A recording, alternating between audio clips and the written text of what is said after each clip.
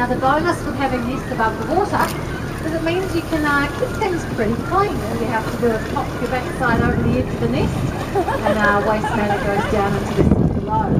Unfortunately some of it does catch all over the tree and slowly over time uh, becomes very acidic and the trees do sort of die off.